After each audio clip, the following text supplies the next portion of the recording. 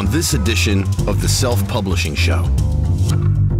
It makes the story more interesting because it's not just information being narrated to them. It somewhat activates their own emotions. And ever that's what we, we read for. Publishing is changing. No more gatekeepers, no more barriers, no one standing between you and your readers. Do you want to make a living from your writing? Join indie bestseller Mark Dawson and first time author James Blatch as they shine a light on the secrets of self publishing success. This is the Self Publishing Show. There's never been a better time to be a writer. Hello and welcome to the Self Publishing Show with me, James Blatch. And me, Mark Dawson. Uh, haircut, Mark Dawson, if you're watching on YouTube. Finally, post lockdown, you had to yes. queue. We all had to queue. yeah, I eventually got two weeks to get in there, but um, I've I've never I've never been quite so bearded or quite so much like Stig of the Dump. So I'm very very very very pleased to have had my hair cut. It's taken years off you. It has it has literally taken years off me. Yep. yeah and your ears. Good. Uh, well, welcome to the show. We've got a few things to get through today before we get on to our interview with Becca Puglisi. Uh, first of all, I'd like to welcome our new Patreon supporters. A very warm welcome indeed to Stephanie Giancola from New Hampshire in the United States, uh, to Adam Fike from California in the USA, and also in the USA from Idaho, Joshua Wold. They all went to uh, patreon.com forward slash self publishing show, and they are the last, I think, of the intake who are eligible uh, for uh, a spell in the book laboratory. So at some point in the next 48 hours, Mark, the entries will be passed over to you for you to choose somebody to go into the lab next time. Then we'll get Jenny and Stuart and Brian on to dissect and take apart what they've put forward. Um, good. Well, I should probably just say that I've launched my book. Um, in the last couple of weeks. So we've mentioned that from time to time, and I'm now in a kind of post-launch strategy. Um, so I settled down. I've been quite pleased with the way it settled down actually. So the last three days, which I think I've moved through that initial my SPF friends buying the book um, period, uh, I have sold between 15 and 20 books a day. That uh, is about uh, 40 to 50 pounds a day of income and I'm spending about that a little bit more on ads. So typically, yesterday I spent fifty uh, pounds, which is what sixty five dollars, something like that, uh, on ads on Facebook ads and Amazon ads, and I made forty four ninety, so forty five pounds in return. So effectively, I'm running at a loss of about five pounds a day. But that's before I've really optimized the ads, and I did a bit of that this morning, so I might be able to bring that back to even. But I'm thinking that's okay at the moment. This book is about visibility, about getting my name out there. It's also giving it a chance. I mean, I have no idea whether this is a book that people are going to like and recommend to their friends, but it gives it a chance if it is going to be a grower like that by getting it in front of people and getting it sold and read. So I would be happy, honestly, losing a few pounds a day for weeks on end, frankly, to get the book out there, build an audience, and quickly as quickly as I possibly can, write book two and get that out there. So that seems to be my strategy at the moment. If I can break even, would be better, ideally. Yeah, you got to. I know people will be listening. Will be some people won't get that and will think that's crazy that you're actually losing money on something that you just put out there. And I think that's that's a reasonable position. But as long as you know what your objective is uh, and you you're keeping a tight eye on um, what tight hand on on the actual amount that you're you're spending and, and losing, then it's okay. Um, I don't think it's you know as a, as a new author you're not likely to make money on the first um, the first book when you advertise it because there isn't anything else to go on. But you are building an audience, and I'm doing something similar with the Atticus books at the moment. So although there's you know I've I've written 40 books I suppose in total something like that now. Um, there's only two in the Atticus series, and I am, um, I think I probably mentioned this before. The, the first one is 99 pence and 99 cents at the moment and has been for about six weeks. And I'm really hammering that with ads at the moment. So probably spending $150 a day across U- UK and US on, on that and definitely making a loss. Absolutely. Maybe selling 100 a day. So at, at, you know, 35 cents, I'm probably making 60 or $70 a day in terms of loss, maybe, maybe more than that. But there is another book that follows after, which is a full price book. Um, and that is still selling really strongly. Um, so you know, I look at my book report every morning, and that is always the number one book, ahead of all the Miltons, ahead of Beatrix, Isabella.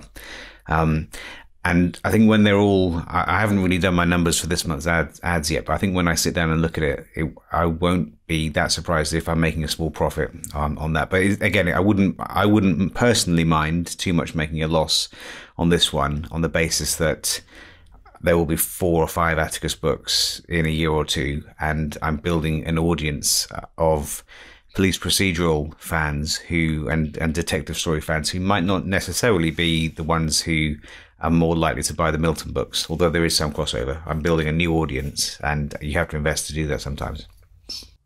Yeah, it's obviously um, early days for me, but it would require very if I if I had a second book out now, it would require very little read through for that to be a profitable campaign, which is optimistic for the future if I can keep this mm-hmm. keep this going. Um, yeah, and uh, I had my first few reviews in, so a few five stars, possibly from people I, whose names I recognise, and I've had two four star reviews. G, G Blatch.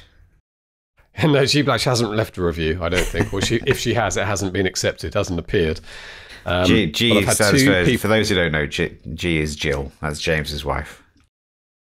But two people have clicked four stars. It's okay. What's wrong with What's wrong with the book? Exactly. Yeah. Um, yeah. So we'll see how that goes. Um, obviously, I'm doing all this for the first time and all these emotions that I've seen people go through, I'm now experiencing, which is fun. And I'm really pleased to be at this point. I'm even on the Joanna Penn podcast this afternoon, which I think is this kind of royalty status. You I mean, obviously, to be on this. What's she going to talk to you about? I think she wants some tips on writing and a quick, on quick fire release. Excellent. Rapid yeah. publishing. Yeah, my God, that's going to be interesting. I don't know if she's got to let herself in for. Yeah, uh, so I'm not sure when that's going to go out. Probably in the next few weeks. I think Joe records a few three or four weeks in advance. Um, Good. Okay. Uh, just a couple of quick housekeeping things to mention. If you're in the Ads for Authors course this week, hopefully by the time this podcast goes out on Friday, there will be a new module in Facebook Ads for Authors, authored by me. It's module five, and that is on dynamic creative ads. So we go through uh, what they are, how to set them up, how to optimize them, how to use them, uh, when you should be using them, when you should be doing everything manually.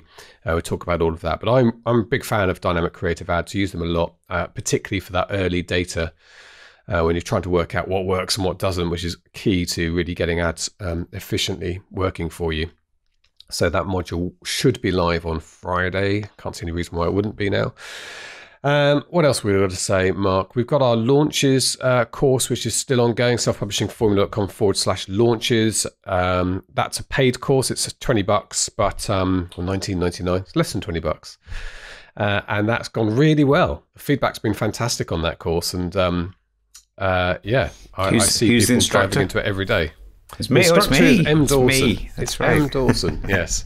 it's a good uh, course. I've been course. I've been meaning to do it for ages. It's it was quite you know it's about a week's worth of work. Um, so it's three hours. It's not a short course, and there's there's things downloadable timetables and um, ad copy and ads and things like that with, with numbers. And I'm also doing I'm going to do uh, kind of live updates in the Facebook group when I launch the next Milton book, which will be you know quite interesting I think so that's um that's good there, and if yeah there is an offer on that one and if you go to the Facebook group uh, self-publishing formula community you can you can do a little search you should find there's a offer for UK authors um, who want to take that course and that will end on Friday so head over to the Facebook group to find out about that well, this goes out on Friday, so basically you've got to listen to it and head to the Facebook yes, on Friday. Yes, I think probably be okay for the weekend, but yeah, don't don't hang yeah. about. Okay. Okay, great. Well, that brings us on to our interview, Mark. And this is Becca Puglisi. I don't know if you've met Becca or know Becca. No, I don't. No. Interesting. So I didn't know a lot about Becca before, and I should have probably done more research than I did because she is the co author of a book that lots of you will be familiar with, The Emotional Thesaurus for Writers. And the more I look into it, the more I like this book and seen how successful it's been as well. So it's opened my eyes a little bit to uh, an area of our writing uh, that it could be very helpful with, which is basically showing and not telling and how to do that, keeping it fresh and to help you um, show somebody's angry rather than tell the, the reader that they're angry using the language helpfully put together in these lists. So let's uh, let's hear from Becca, hear a little bit about her writing as well, and then Mark and I will be back for a quick chat off the back of the interview. This is the Self Publishing Show. There's never been a better time to be a writer. Becca, welcome to the Self Publishing Show. Thank you so much. Super excited. I didn't throw myself into your surname. Pug. You better you better say it. It's Puglisi. Puglisi. That's easy. It's it's easier than it looks. Yes. For some reason, it's very intimidating. I don't know why. Is that Italian?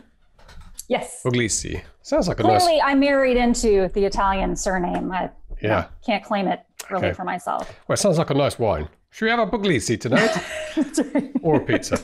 Anyway, um, great. So lovely to have you with us, Becca. I'm excited about this conversation because we don't talk, we haven't talked sort of craft for a, a while on the show. And yet it's the one thing we all love to talk about the whole time. And I want to talk to you Yeah. about emotion in characters and in your book. Uh, particularly, I think I'm going to ask some male type questions because we tend to be unemotional story mechanics people and we sort of forget the reason people are reading the book actually. It's not that. It's not because the guy goes from a to b it's why and all that stuff. So we'll talk a bit about that uh, later. And uh, also want to hear a little bit about you and your background. Uh, but first of whereabouts are you becca in the world? Oh, I'm in um, Florida, in Okay. the US. oh yes i think i read you're in jupiter. Yep. which is where all the golfers live right Lots of golf, lots of tennis. Um, there's a, uh Lockheed Martin is a um, a spacecraft uh, air flight engine production company. So oh that's lockheed martin really big yes here. yes Yeah. Wow So that's it. That's Jupiter. golf and space sounds like my kind of place i have to just drop into jupiter Which you know, when point. you think Jupiter, I mean, Yes, come it's on, it's the be. perfect place for it. It's got to be, isn't it? That big gas giant. Okay, that's good. Well, welcome from uh, Jupiter, Florida, to uh, actually sunny UK today. Strangely. Oh, good. Um, and let's find out a bit about you, Becca. So you're obviously a writer yourself. Tell us a bit about your background. Sure. I grew up not writing at all. Like that was not on my radar. Um, I know I hear stories about people. My son wrote his first story at four. You know, I like have it commemorated for future reference. And that was not me. I was just not that way. Um, but I got into it very late in my when I was ah, my late twenties. Um, I was teaching first grade, and I thought, oh, I can write a picture book. Come on. I mean, like you know, I've read a million of these. How hard could this be? And you know, and then I realized how hard it was when I started doing it. Yeah. But I loved it and just felt like I had kind of a knack for for writing. Um, my favorite thing to write is um, is fantasy, and I like historical fiction too when I have time to do the research. Um, and yeah, that's mostly what I, I prefer to write, but I don't have very much time for that right now because we're writing so many nonfiction books, and those are, you know, doing very well. So that's kind of where my time is is mostly spent. Yeah, great. Um, the the books you have written, historicals, the fantasy, are they adult or YA or They're YA. oh, YA? Um, I just found for some reason I like the length of it. Um, and I like that it's not that it's simplistic at all. It's just, it's a little less complex for me, um, the YA storylines. And so um, that's actually primarily what I read just because, Yep. you know, as a mom and a working mom, it's, it's hard to find time to, to read a, you know, a big, huge, every once in a while I'll tackle a Stephen King, you know, his latest that's got 800 pages, but um, I like that length. It's good for me. Yeah. Well, I think lots of adults must read YA because it's such a huge genre. Yeah, it is ve- very. um, that was the cat. my cat. My doorbell's gone off and your cat's. But that's right. That's life. That's how life works. That's right. Um, yes. Anyway, YA is a huge genre, and I, I sort of figure there must be people at least in their up to their thirties, I think, and then maybe dwindle a little bit. But I think it's probably people read it their whole lives. yeah, and I think that the Hunger Games really kicked that off because um, I know I was reading it. I was reading YA long before that. Um, my husband is not like a, a huge reader, and when I read the first Hunger Games book, I said to him, "Read this book. I know you're not like a huge reader, but this is you're gonna love this book." And he's like, "Come on, it's like for teenagers." And and he said it's the first book he ever read start to finish without being able to stop. He was Mm. up till like three in the morning because he just couldn't stop reading it. And I think that a lot of people kind of had that experience and realized, oh my gosh, there are great books in the teen section. And I think that that kind of kickstarted it. But I agree. I have a lot of friends my age who read a lot of YA. So I think Yeah. it is very popular for adults too. Well, they do say that you're supposed when you're writing for adults, you're supposed to write for a vocabulary standard that's basically just out of school. So, Yep. and I guess That that's probably if that's the vocabulary level a lot of people are reading at, and I don't mean this in a sniffy way at all. No, no. Um, I think wh- I that's it. probably why YA books work. In fact, I read the Hunger Games. I've read the Harry Potter books. Thinking about it, I've probably read quite a lot of uh, books aimed at Yep. people younger than me. But uh, there you go. Okay, right. So let's talk about what you're doing in terms of nonfiction, in terms of the way that you work with writers, Becca. How did this start? Um, you know, ironically, it grew out of out of my fiction. Um, Angela and I, who I all of my books are co-written with Angela Ackerman.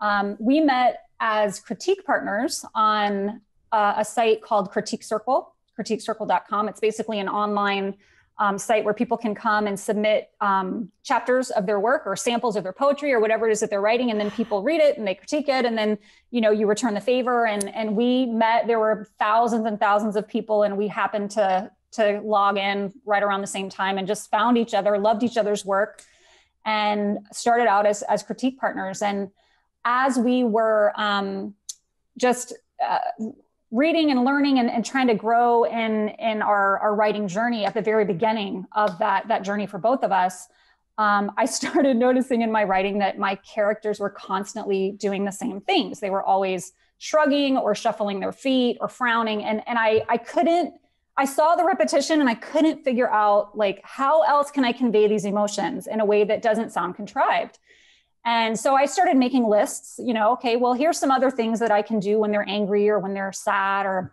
whatever. And I took it to the group and said, you guys, you know, I don't know if you can use this, but this is something I'm struggling with. And they, every single one of them said, Oh my gosh, this is a problem. And I know it's a problem and I can't find anything to help me with it. So we started expanding on these lists and just kind of keeping um, uh, a tab of all of these different cues for emotions. And over time, everyone kind of, you know, petered out and it was just me and Angela like charging away on our emotion lists. And that book eventually, of course, became, I mean, th- those lists became our, our first book, which was The Emotion Thesaurus. We, um, we started a blog um, about four years later. And Angela, who is, you know, kind of a marketing genius, even though she probably would balk at that term, but she is very intuitive and just has a really good knack for for um, how to how to promote. And she said, you know, we need a blog, and, and I want some content that's that it's going to bring people back. You know, it's not just a one time. Here's a really good something, or here's a really good something. I, I, let's do something kind of like a serial almost. You know, where every week we put out something new, and it's more of the same that we offer before. And she said we should do those those emotion lists. We could call it like an emotion thesaurus. And, you know, every week we'll do one emotion and we'll highlight how people can show it instead of telling it and give them more ideas. And, and so we were like, okay, so, you know, we'll try that. And in a very short time, it just kind of took off. I mean, everybody who was reading those thesaurus entries was like, oh my gosh, this is a problem. I have this problem. And it seemed, we realized it's a universal problem for writers that figuring out how to show the character's emotion in a way that's really going to resonate with the reader yeah. is very difficult. It's it's not intuitive. Our first impulse is to just tell it and say it, you know, he was mad or she was angry or to use these same kind of cliched phrases, you know, that we've seen over and over again. Damn it. Um, and uh, so we just decided to um, to do that and it, it, really it really resonated with people and you know they started saying when when is this going to be a book? I'd really like to have a book when i'm working. And so we thought okay, okay well wasn't thinking about that but okay that's a great idea. And that's really how we we got started was eh, that was kind of the the evolution. So let me take you back to those original lists you did. Can you give me can you describe them a little bit more? So i'm having a hard time visualizing this list? Yeah, it was like, okay, um, anger. So I know my character is going to be angry sometime in my story. What are some things that he can do with his body that's going to show the reader that he's angry? Okay, so he can clench his fists, but you know he's already doing that a million times. Um, he could, um, you know, if he's a confrontational kind of person, he might make himself bigger and like and get in people's space. His voice is going to change to reflect um, that he's angry he might start interrupting people. Um, he might start actually go on the offensive and start picking a, a verbal fight with the person. Um, and those are just all the kind of outward cues yeah. that we naturally do as people. And if we can apply those to our characters, then the character's emotion becomes very obvious to the reader without us having to stop the narrative and explain yeah. what the emotion is. And it just brings the reader in a little bit closer because they've experienced all of those things. They recognize intuitively, oh, I know that, you know, I, I, have felt that before. I know what that means. And they're not obviously consciously going through that process, but on a subconscious level they recognize that feeling and those those cues and so it just makes the the character much more authentic and pulls the reader more firmly into the character's experience immersing them into the story instead of putting them at a distance just sitting back listening to somebody tell them what the character is feeling. They're kind of going through it with them. Yeah. God, that's such a good idea. I mean, how many times has an editor said to me, show me this, don't tell me that they're angry? And there you've got a list of things to do for your character. So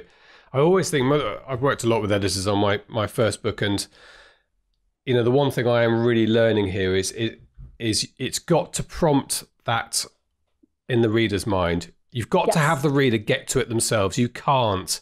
It make, it's a boring book if you ever tell the reader what they should be thinking is going to happen. It's got to be prompted there. And so to have that list of things to help you do that, even if it's just the start of writing that scene, how am I going to right. know this person's angry? Presumably, you cover the gamut of emotions. Yeah, we our first book we had seventy, um, and then it was so seventy emotions. I'm trying to think how many emotions can there be. I know, right? Well, it was it, it did really well and then we we just released a second edition like a year and a half ago where we expanded it. Now we have 130 emotions. You know it's it's everything from uh, amusement bitterness confusion defensiveness suspicion um, moodiness you know just every possible uh, emotion along that range. But it's just it's so so important because emotion is what pulls readers in and if we can't trigger our readers' emotions with our stories, very likely they're not going to be drawn into the stories and they're not going to be um, captivated by them. So, one way to do that very well is to get them connecting with the character's emotion. And that's that's really why the show don't tell portion of the emotion piece for the character it, it does multiple things. I mean, it, it makes the story more interesting because it's not just information being narrated to them, but it also actually it, it, somewhat activates their own emotions. And ever that's what we we read for. You know we have a lot of different reasons why we read but people want to have an experience when they're reading. They might want to be excited. They might want to be scared. They might want to be um, satisfied with you know a, a, a romantic kind of a, a situation resolving satisfactorily at the end of the story. But we all want to connect in some way. Um, we want to have an experience an emotional experience when we read and one of the best ways to do that is to show the character's emotion so that the reader gets it crystal clear. So what what what have you done with those original lists? I know you talked about the thesaurus. So how is that a book or how does that work? Yeah, so we we took all the lists and we made it into a book, the Emotion Thesaurus, and each there's some um, in the front is is instructive matter on how to show emotion. So there's different um, chapters on how you can use dialogue to write emotion, um, how you can use um, different physical cues. And we talk about subtext, you know, which is huge in our interactions with each other, how we're not always honest and we're usually kind of holding back and hedging a little bit. And if we can show that that nuance with our characters, they're just going to be much more realistic and relatable to the people who are reading them. So the front half of the book, not the front half, um, just the front section, is all information on here's how you show emotion, why it's important, here's how you do it. And then the bulk of the book is is two page spreads that have an emotion. And it talks about physical signals and behaviors you can use with your character. That's just the things that they're physically doing with their body. Internal sensations that if you're you know in their uh, perspective if you're using a, a first person viewpoint you can tell what's happening internally inside of them what their mental responses might be um, we have a section on signs that the emotion is being suppressed. So if you know a lot of emotions we're not comfortable sharing, and it's it adds a layer of authenticity when we show a character who is fearful, trying kind of to hide that um, because it makes them feel vulnerable or it makes them look weak or whatever the reason is that they may not be comfortable showing their emotion. And it just it's very very simple. I mean it's it's a two page spread for each emotion, and wow. it's not really meant to you know, to go through and pull out lines and insert them into no. your story. Because when we do that, then those lines be, start becoming cliche and, and it's also not specific to the character. And that's what we really want is to everything that the character is doing needs to be very specific to who they are. So we encourage people to use it as a brainstorming tool to look through and get new ideas and then think, okay, I can use this one. My char- I can see my character reacting in this way when he's feeling this way um, I'm, you know, I'm going to tweak this a little bit to make it more specific to who he is. And that's, um, that's really how it works. I can find that. I can see straight away how useful that is. I think particularly because we write so much quicker today than I think people used to write. I mean, you read these old stories of Hemingway or whoever who agonized for a week over a sentence. And right. I can't, although I have probably done that, I do yeah. like the idea of sitting there all day with this one paragraph trying to get it exactly right. But most of the time, mm-hmm. you're in the scene, you know they're angry or or sad, and you think for a moment about how to show that and what they're going to do, but you're really writing the scene. You've got to get the scene done. You've got to move on, and yeah. then maybe your next revision you're going to make that better.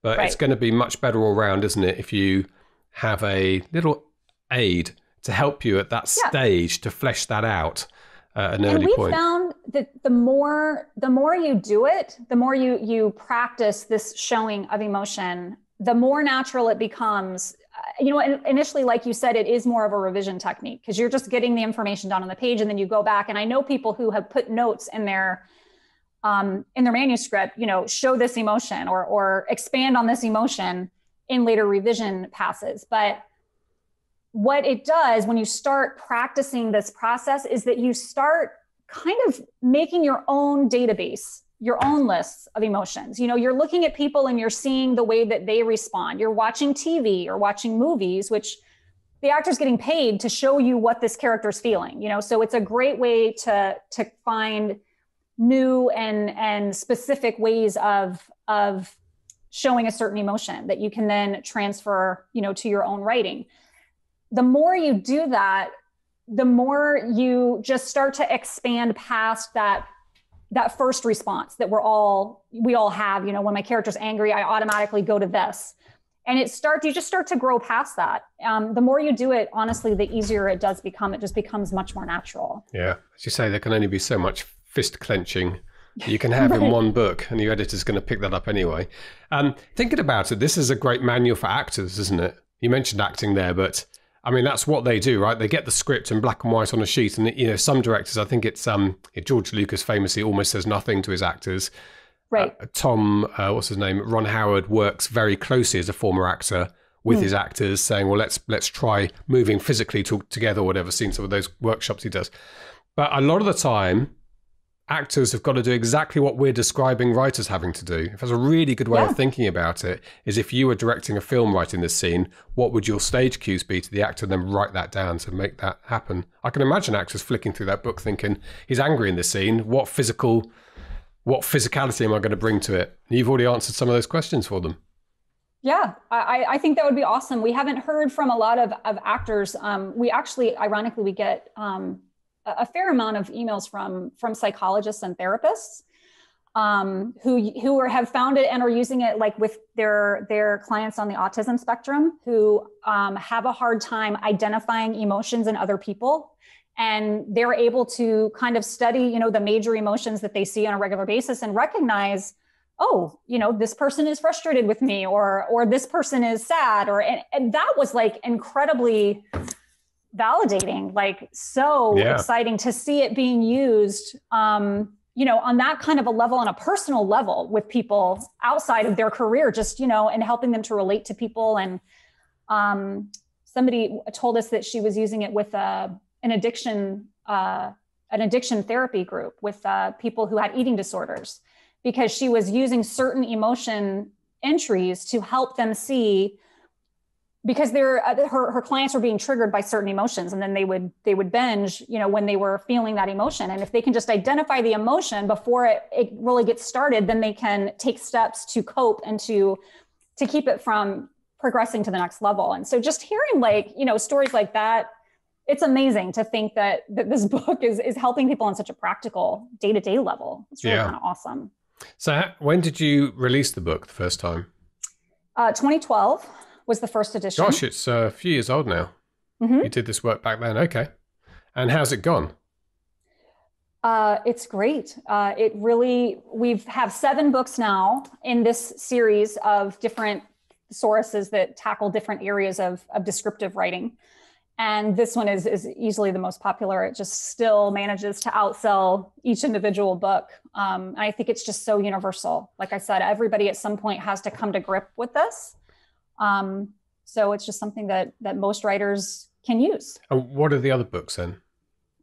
Well, when we finished this one, um, we thought, okay, wow, well that was that was exciting. Uh, what else can we do that um, can help writers? And so we went back to our own writing and thought, you know, where do I struggle? What do I need help with? And the next logical thing that we both noticed we were having a problem with was characterization, was creating these characters that are fully fledged. You know, they're not cardboard, they're not two dimensional. Uh, they have a mixture of positive and negative traits that all make sense together um, so that you can create an authentic character that, that just reads as real to, uh, to readers. So that was what we tackled next. And we actually put out a two volume set with that. We have a book on negative traits and a book on positive traits. And the front matter in that is actually really interesting because it, it goes into where traits come from and how they form. So that I think a lot of writers, when we're creating characters, we start out creating the characters that we like or that are interesting to us, maybe because they have these traits that we really admire. Um, or these traits that are really quirky and kind of off the wall and it makes them unusual, but there's really no basis for them. And so they don't really read as as truly authentic.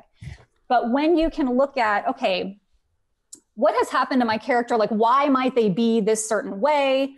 Um, what positive traits might help them in the story to achieve their story goal? I want to make sure that they have some positive traits that are going to serve the story in that way. Or what flaws might trip them up and make things more difficult and create more conflict for them throughout the story and craft your your characters um, in a more well-rounded way that that looks at the character but also looks at the story. And that's really what we focused on with those two books. And and it's the same exact format. You know it's got some front matter in the front that talks about where these traits come from and how you can show that your character is impulsive or controlling or cowardly or whatever it is instead of telling it that's an element that's in all of our books is how do we show this instead of tell it um, and then the rest of the book is again entries two page spread that tells you uh, how to show that information for your character I, am sure I'm not the only one who finds it much easier to write the good qualities for your heroes and the bad qualities for your baddies. Sure. But struggles yeah. to write the flaws and the bad qualities of your heroes and the redeeming features of your baddies. Yeah. Because you do Absolutely. from the beginning, you set this person up to be the baddie and the hero, and you're not really thinking about that that rounded dimension that you're talking about. So important, though. Yeah, and I think that that is again, that's kind of where we all start. You know, this is my good guy, and I really admire him, and I like him, and I don't want to, you know, I don't want to make him unlikable. So here are his all of his good qualities. And if he has a bad quality, it's going to be something really minor, like you know, he's yeah. messy or or something. Yeah. But which is cute. Um, yeah, right, exactly. So it does, it's really important. And this is important for, you know, I've, I've written a thriller, but this is important in every genre, right? You, you could write sweet romance, and some of those books can be, the reader has very specific expectations of what's going to happen when it's going to happen. But within that, you still have to have a hero who can't be perfect. Right. Right. So this is an important right. thing for every writer to understand these these layers. Yeah, absolutely. And it it it really ties in should tie in so much to to character arc right? I mean we have characters they enter our story a certain way and there are certain things that they have to accomplish or overcome throughout this throughout the story in order to be successful. And it's a matter of figuring out you know what those problem areas are that they're usually blind to in the beginning or they recognize them and they, they see them kind of as a, a strength you know well this is i know that i'm stubborn but you know it's a good thing and it protects me in this way um, and it turns out being you know their achilles heel that they have to they have to deal with. Um, that's a huge part of characterization is figuring out who your characters are but knowing why they are that way and how that is going to play into the story. Um, and we explored that more to jump ahead in a, a much later book on emotional wounds that look at ugh, all, all the different traumatic things that could happen to your character in the past and how that can transform them into who they are at the start of your story. so that all of those flaws and even some of the positive traits they make sense because they're coming out of this event from their past and the things the way that they were raised or something specific that happened to them. So many different possibilities. Um, they they engender new character traits. And the person the character who they are at the start of your story is going to be a result of what happened in their past and as they go through the story the reader's able to see you know pretty much exactly what they're going to have to be able to, to kind of deal with and overcome. And so when they get to the end and they finally overcome if they're if they're successful i mean they may have a they may have a failed arc where they end in a tragedy and you know those stories can be satisfactory too. Um, but it all it, it all the characterization the characters uh, personality traits are, are hugely important to that. And they come very often out of of events from their past that's how we are as people you yeah. know why i have the traits that i have today is partly because of the way i was raised partly because of the the influencers in my life positive and negative um, partly because of certain key things that happened to me at, at different times in my life and that's again it, it all goes back to authenticity and making our characters as much like real people as we can. Yeah. And you talked earlier about this being um, perhaps lending itself to the revision process. Typically, when we might go back and fill some of this stuff in, it seems to me this would be a good thing to have right from the beginning. Is this how you'd recommend using these books? Well, you know, this is what I love is that you can you can kind of use them both ways. You know, I find that um, people who are newer to the writing process um, they they use them in advance because they're training you know they're learning beforehand okay this is how i need to write this and this is the research i need to do on my character. Um, and then you have other people who are a little more uh, pantser rather than plotter you know and they don't want to put in a whole bunch of time up front researching everything and they're going to use it more on the back end. So it really can be used however you need them to be used, you know, whatever works with your process. Would you have a recommended way of working? Or do you think that does vary, well, as you say? I do think that the backstory pieces, the um, the emotional wounds, and to a certain degree, the character traits, those things need to be figured out beforehand. I really do believe that your your story is going to be stronger if you're able to to kind of get that figured out. And again, there are various degrees of this. I mean, you can go into crazy detail and spend a lot of time in flowcharts and outlines and everything else, or you can just have a, a, basic bullet point list of the important things that you know. I mean, so whether you do like to plan or you don't like to plan, there are different levels of, of research that you can put into it. But I, I do think that that for emotions, I'm sorry, for emotional wounds and for the characterization, figuring out the character's backstory before you start it makes the writing process so much easier because you have a really clear idea from the get go who my character is, what their tendencies are, how their emotional responses are typically going to be, um, what their their go to um, reactions are, because you know who they are and kind of what their triggers and their sensitivities are from the past. So having that in place, um, I think it actually saves you a lot of time in the writing process because you get a lot of that in there that first draft without consciously thinking about it. You just know the character and you know how they're going to react. And so then you don't have to spend so much time in revision going back and plugging stuff in and making things consistent. We actually have um, we have a, our books but we also have a, a website called one stop for writers which takes all of the entry content from our books and it puts them into a, an online database where it's um, searchable and hyperlinked. And that to me is actually a really good tool for um, for getting ready to write your story. Um, we have a, a tool that we created called a character builder that allows you to look at the different common aspects of characterization and it pulls information from our sources and you can choose okay here's some emotional wounds that i think work for my character here's what their outer motivation I think would be for the story. Um, here are their their positive and negative traits that are going to be part of who they are. Here's their occupation, you know, and how that ties into things. And it, as you go through the, the different aspects of characterization, the tool collects the information that you tell it to collect, and it creates a, a character arc blueprint for you that basically says, here's what happened to my character in the past this is the lie that they believe about themselves now that's causing them problems. It's created a, a lack in a basic human need that now has to be filled because that's how that works as human beings. So here's who they are at the start of the story. Um, this is going to be their goal because they believe that's going to fill that inner need that they have. This is the story goal, the outer goal. And here's the fatal flaw that's going to be a problem for them all along the way that they have to deal with by the end of the story. And I'm super, super excited about that tool because it basically takes a lot of the information that we've collected in various books and it brings it all into one database. And it's a smart tool that that takes what you choose and creates a character arc that's personal to your character. Every wow. one that you do is going to be different because it's pulling from that emotional wound that is a problem for them and from the character traits that they have and from the lie that they believe. So it's completely each one is is is individualized to fit your character yeah and that to me is is hugely helpful when you're writing a story to have that information in place yeah that's amazing um, and this this has taken some amount of uh, sort of AI or something. I don't know how you describe it, but there's something going on in the background that that puts this together. Have you? Yeah. How did absolutely. you design that?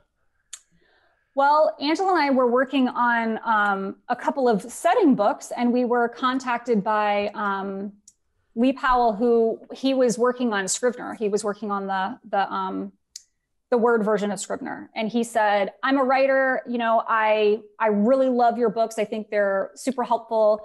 I think we should have an online database where it's all in one spot." And we thought, okay, that would be great. And so we teamed up with him and created it. Initially started as just a database for our thesaurus collection.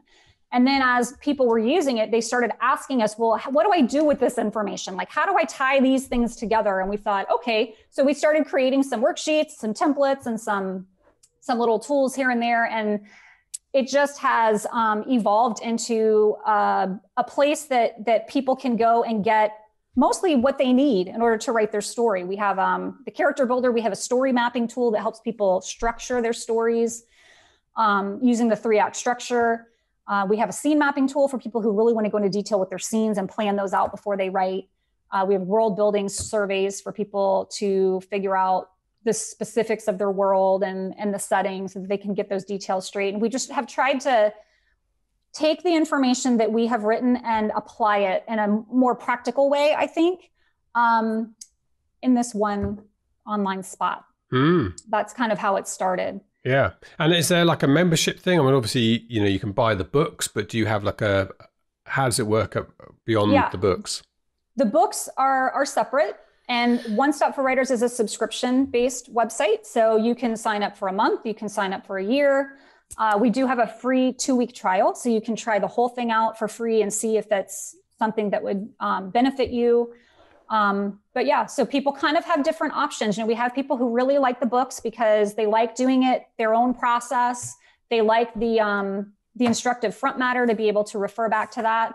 And then you have people who who really like having it all online on their computer, kind of while they're writing. They've got One Stop for Writers open in a tab, and they're looking at different thesaurus entries, or they're looking at their structure tool to see, you know, what's supposed to happen next. And so it's um, kind of different options for different writers. Great. And I'm just having a look at the prices because I know people will be asking uh, how much it is. It looks like you can do it for as little as nine dollars for the month. Yeah, nine dollars a month.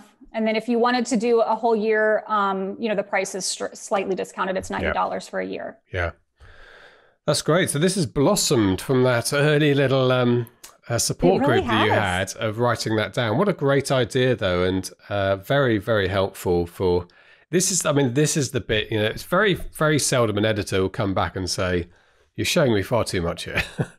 He's going to hmm. say you've skipped this. I don't know why they're yeah. you know why they're angry, and and it's what we struggle with a little bit as writers, particularly when you have, as you say, ultimately you are you've you've identified all these emotions, right?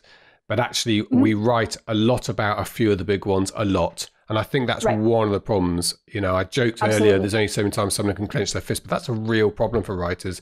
The person's angry several times in the book, or is in love several times in the book, you're going to run out of these adjectives. You're going to run out of these ways right. of describing it. So I think that's a really, really useful tool for people.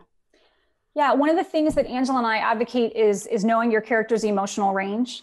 So you want to know, that's one of the things you kind of want to figure out in advance if you can, is you want to know where they fall on that spectrum between reserved and demonstrative. You know, and if you know where they are, then you're going to kind of know what their reactions are going to be and what's normal. And then you know how to escalate them. You know, if something really big happens, um, you know kind of where they're going to go. The other part of that in terms of figuring out the emotional aspects of your story is making sure that you are that your character's experiencing a a wider range of emotion, like you mentioned, because if they're every scene, they're going from sadness to anger to fear to happiness, it's going to read flat after a while because there's nothing new really for the for the reader. It's just the same thing over and over. So I love um, save the cat, the save the cat method of you know making. He he has a method where you make uh, you take a post it for each scene, and there are certain information that you record for each scene so that you can see your whole story and every scene, certain things that are happening. And one of the things that he says to do is to record the emotion change. Your character in every she- every scene should be starting with one emotion and not ending with the same emotion. Or if they do end with the same, it's got to go somewhere in the middle. And so when you record each scene, okay, my character starts out um, happy and then they end up afraid. Uh, okay, so the next scene, he's going to start out afraid and he's going to go to um, confusion or whatever it is, it shows you not only making sure that your scenes have that emotional progression, but it shows you your range of your character's emotion. If you see the same emotion over and over on your storyboard, then you know you've got to mix it up a little bit, you know, and you've got to get some different emotions in there. So that's a really good process that I, I like in terms of um, being a little more deliberate with uh, your character's emotions throughout the story and making sure, like you said, that they are experiencing a better range because that's the human experience, right? It's not, we don't just have four or five emotions. Right. We have 130. Apparently. Yes, yes, apparently. Um, and it's also what makes a story is that yeah. you can't, you don't have a story much without that. And uh, funnily enough, I was watching my a lockdown thing that lots of people have done. I've done with my 17 year old daughter is to watch the Marvel films in cinematic universe order. I'm really mm. enjoying it. I didn't really watch them before, and I'm really enjoying it. But one of them is The Incredible Hulk with Ed Norton in 2008. And there's a film that is a great example of why some films don't work. And I said to mm. Emma, we talked about it afterwards. She's obviously doing her A levels now in the UK and talked about it afterwards. And even she was able to identify that what the character wanted at the beginning of the film was exactly the same at the end of the film and it was exactly hmm. the same in the middle. He got chased around a bit, but that's basically what happened in that film. I don't understand how a multi-million dollar film gets made with that script going from hand to hand without somebody saying, hmm, "There's no real character journey here."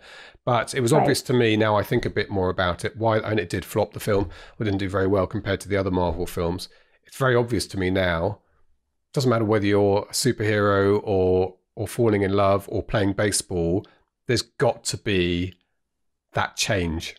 Yeah. That's I what agree. it is. And Angela and I have conversations about this um, because there are films and stories that where there's not a big change with the character. You know, you look back and, and I find that they're mostly older, you know, like the early James Bond stuff from mm-hmm. the 60s and 70s. You know, he was the same in every story, same goal, you know, get the bad guy, get the girl, whatever not a lot of change. Indiana Jones, the like the first Indiana Jones movie, same thing. Um, and I, I think with action thriller stories in the past, that was like the goal. It, it, it, was all about achieving the goal and not so much about the character achieving internal growth. Um, but the most compelling stories that I find are the ones that has that character going through some kind of change where they have to grow, they have to learn, they have to evolve or shift in some way um, because that's super compelling to us as people. Yeah. You know, we we all want to be better 10 years from now than we are today you know and so we want the same thing with the characters that we read and that we that we get to know and that we admire you know we want them to be going through that growth i think that's not a necessity because we again you do see in certain genres that there's less of that but i think i think it's it's a really really good idea and you should do it whenever you can yeah yeah definitely um and you know, counter to that, I think was the, the first Thor film was either before or just after the Incredible Hulk, where at the beginning Thor is young, impetuous, wants to start a war, fights with his dad, says you're doing it wrong. We've got to prove ourselves. That's the only way we're going to win. And within half an hour of that film, all of that being established, you're so engaged in it because you know he's hot headed, you know he's probably wrong, you know his dad's probably wise, but you know he's got to go through something to find all that out. And that's what you're there for for the ride. Um, so I think that's probably a good idea as well. We talk about um, setting that up, that journey. It doesn't necessarily have to be. A in fact, it's quite good for for for to signpost ahead for people for readers to think, oh, this is probably where they need to go. You can of course surprise them here and there. Yeah. But I liked Thor. I liked knowing that we were on this journey with him, and he obviously was going to have to at some point learn the hard lesson that that's not yeah. how to get to what, what he wanted to do. And of course, by the end of the film, he'd changed. Yeah, and I agree. Um, there is something. It's a fine line that that line of um, of predictability. You know, you don't Conceal want your reveal. story to be super predictable, where you know exactly what's going to happen. But it is satisfying, I think, more on a subconscious level when, as a viewer or a reader, you can see, you know, you've figured it out. I've solved the mystery. I know what he needs to do. And then you know what to root for. You know, yes. you know how, what you really want to see. And then when he, you know, struggles and falls and makes stupid mistakes, you're like, mm. yeah. So I agree. I think that um, having that, that certain level of um, uh, obviousness is good to to get people into it. Yeah, there's a trick. Well, Dan Brown does it brilliantly, I think, in his books. Mm. He has your as a reader, you're always a couple of pages ahead of him, which is a clever trick. Because yeah. you, you kind of know what needs to happen and you get frustrated when things don't go their way because you're ahead of them. But um, it's a brilliant, brilliant writing style, and has rewarded him very well financially, I believe. Yeah, so no he's, doubt. He's and I do think that readers do uh, they like to figure things out yeah. on their own. And that's part of why the show Don't Tell is so important because when you're telling it, you're just you're telling them straight up front and they aren't able to intuit anything or infer anything. And there's something really satisfactory about reading a story and just putting the pieces together and putting the clues together to figure out what the character's feeling or what they really want what their inner motivation is and why you know what, what the secret is that they've been hiding or that they are trying to protect.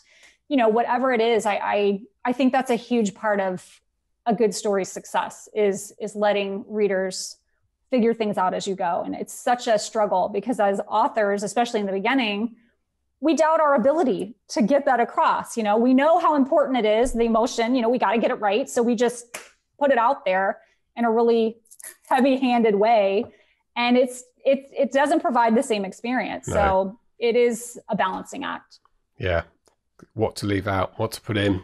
We could right. talk for another hour on that subject alone, but uh, no it's, doubt. it's been gripping uh, talking to you, uh, Becca. Thank you so much indeed for coming onto the show. I, I feel that we do need to come back and probably we could just you know choose one area one book one area and just talk a, a bit about that because i think it could be like a little workshop if you don't mind at some point. I'm, yeah that would be awesome. I'd love it. Be free consultation for me is the main thing uh, here but uh, everyone gets to listen in, listen You're the host. Well. i mean yeah exactly. i'm going to get something out of this. Um, yeah brilliant. Becca thank you so much. Just give the website another plug. Yes, so our our website is onestopforwriters.com and our blog is writershelpingwriters.net. Brilliant. And of course the books are at every good uh, online bookstore. Yep, and you can find them at our blog on the bookstore page. Super. Becca, thank you so much indeed for joining us from Jupiter. And uh, we'll let you get on with the rest of your day. Thank you so much. This is the Self Publishing Show. There's never been a better time to be a writer. There you go. Becca Puglisi, I love that name. And um, a really good set of books that she's done, really useful for us authors. And yeah, it's been that's been my I'm going to use the J word. That's been my biggest writing journey. I think is understanding that you don't tell the reader what to think.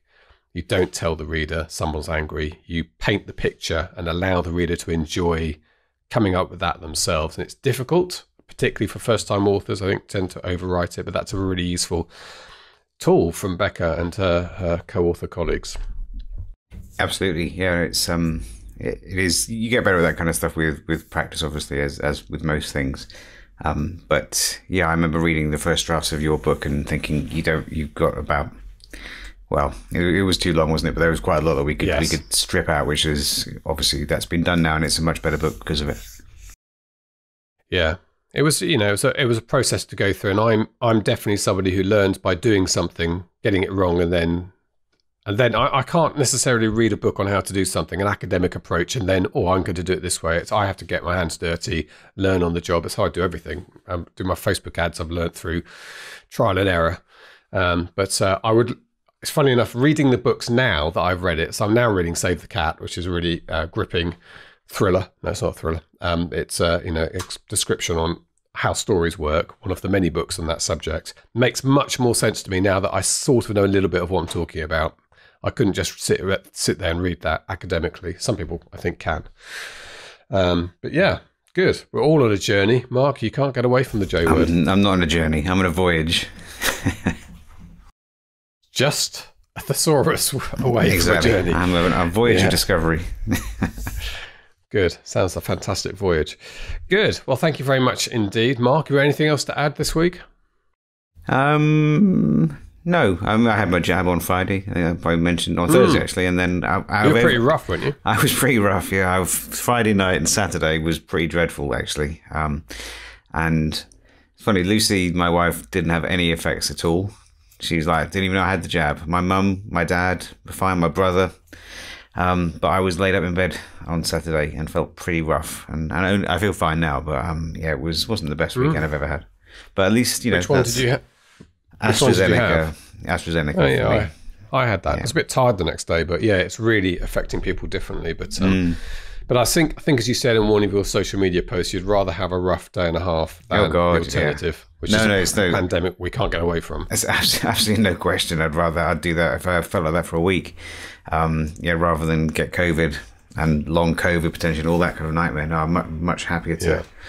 have it in my arm, and I'll be ready for the next one in June. Bring it on. Yeah, me too. Get your jabs if you get to get your chance soon.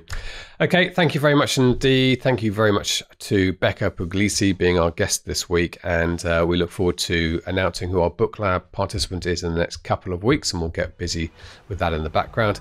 Until then, all that remains for me to say is it is a goodbye from him and a goodbye from me. Goodbye. Goodbye. Get show notes, the podcast archive, and free resources to boost your writing career at selfpublishingshow.com.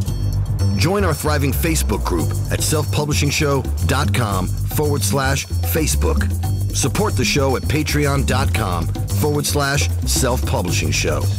And join us next week for more help and inspiration so that you can make your mark as a successful indie author. Publishing is changing so get your words into the world and join the revolution with the Self Publishing Show.